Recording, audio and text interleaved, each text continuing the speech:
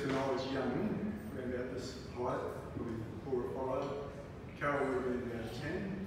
What you have meant to us um, and our whole family, I think you've set a tone for Everything you've done since I can, uh, since I, since I was, uh, before I could walk, and um, if it wasn't for you and Grant, I probably wouldn't be, you know, like... I was so thankful that you knew everything.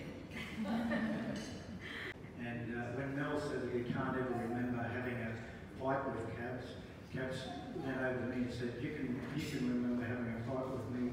Because I said, I'm losing my memory. I think I was at university or something, and um, Mum and Auntie Carol.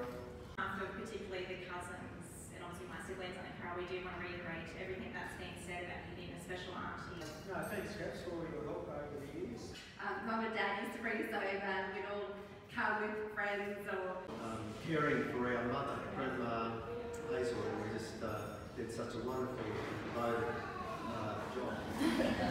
So first of all, give thanks to the Lord that He's enabled me to